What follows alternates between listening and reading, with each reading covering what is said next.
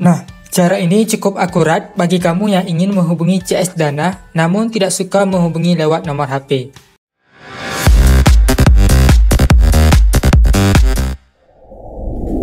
Halo guys, apa kabar semuanya? Semoga semuanya baik-baik saja ya. Baiklah, pada kesempatan kali ini saya akan membagikan tutorial cara menghubungi CS Dana lewat email.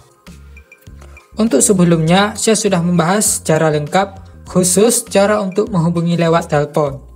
Untuk videonya silahkan cek saja melalui link di deskripsi. Oke, nggak perlu basa-basi lagi, berikut tutorialnya. Nah, selanjutnya silahkan masuk ke aplikasi email ataupun Gmail yang ada di HP-mu. Kemudian masuk ke bagian tulis email. Nah, di sini saya sarankan untuk menggunakan email yang sama seperti yang kamu gunakan di akun Dana atau di aplikasi Dana. Kemudian, masukkan alamat email dari Dana yaitu help at dana.id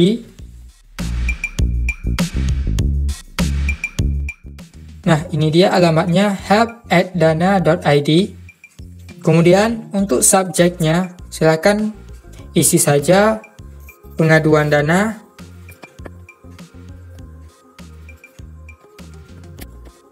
ataupun bisa juga kamu isi sesuai dengan keinginanmu. Kemudian untuk bagian tulis email ini atau isi emailnya, di sini akan saya contohkan Hai Dana.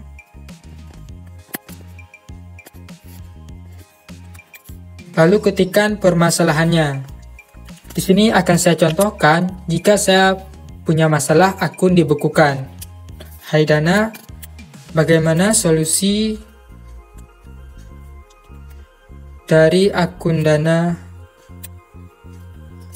dibukukan.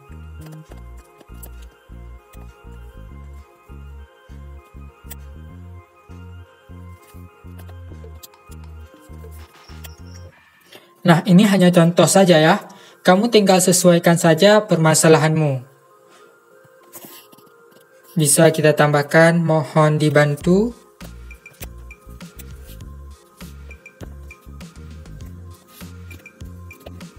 Kemudian jika sudah diisi emailnya, tap kirim yaitu di simbol pesawat kertas ini. Tap di situ ya. Karena di sini hanya sebagai contoh saja, jadi saya tidak akan mengirimkan pesan ataupun laporan ini. Untuk membuktikan yang bahwa saya sudah pernah mencoba cara ini, akan saya tunjukkan laporan yang pernah saya lakukan beberapa waktu yang lalu atau tahun yang lalu ya. Kita cek dulu sekarang. Nah, ini dia email pelaporan yang pernah saya kirimkan ke Dana. Memang ini sudah tahun lalu ya, sudah satu tahun ya kira-kira. Di sini bisa diperhatikan kepada headdana.id. Di sini saya mau pertanyakan bagaimana cara mengatasi akun Dana yang nomor HP tertahu sudah diblokir oleh operator dan di akun tersebut masih ada saldonya. Mohon dibantu. Nah, sebenarnya ini bukan masalah yang saya alami ya. Namun di sini seorang teman menghubungi saya dan meminta saya untuk membantunya. Namun setelah melihat balasan dari pihak Dana, saya rasa akan cukup kesulitan ya untuk menyelesaikan permasalahan ini. Oke, di sini akan saya tunjukkan apa balasan dari pihak Dana terkait masalah yang saya laporkan ini. Nah, ini dia balasan dari pihak Dana Nah, Dana Care, penting laporan Anda sedang ditindaklanjuti. Mohon tidak membuat laporan yang baru agar proses penanganan berjalan lancar dan lebih cepat. Perlu diketahui segala keluhan atau pertanyaan yang Bapak atau Ibu sampaikan tidak dipungut biaya apa pun. Nah, di sini disebutkan, Hai Bapak atau Ibu, berdasarkan email sebelumnya terkait permintaan atau pertanyaan atau keluhan dengan nomor tiket sekian, Mohon kiranya untuk membalas email tersebut agar dapat segera kami ditindaklanjuti untuk memberikan solusi terbaik dari keluhan Bapak atau Ibu. Nah, di sini disebutkan di bawahnya, Hai teman Dana, selamat datang di Customer Care Dana. Saya Vini, Customer Care yang membantu. Nah, menariknya di sini, yang membalasnya bukan bot, tetapi asli manusia ya. Terkait nomor sudah tidak aktif, Vini memahami keluhan yang dialami. Teman Dana dapat melakukan perubahan nomor. Mohon kesediaan teman Dana untuk melengkapi data-data berikut ini.